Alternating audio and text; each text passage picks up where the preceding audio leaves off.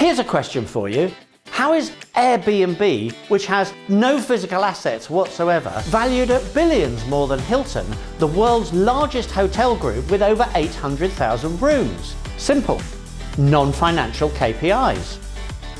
KPIs, or Key Performance Indicators to spell it out, are a way of measuring an organisation's success. As accountants, you're used to monitoring financial KPIs, so why would you add in non-financial KPIs? The reality is, you can no longer determine the market value of a business just by looking at its finances. Non-financial assets have become much more important. Intangibles now make up over 80% of the total market value of the largest 500 US companies.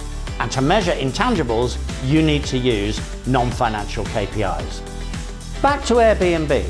They use customer experience KPIs because they believe that customer experience lies behind their market valuation. The company simply asks its customers how likely they'd be to recommend Airbnb to a friend. They can use the customer experience KPI to monitor their success. A good customer experience leads to customer retention, which increases revenue and crucially, the market value of the business. You can use non-financial KPIs to gain a more rounded picture of how your company makes money.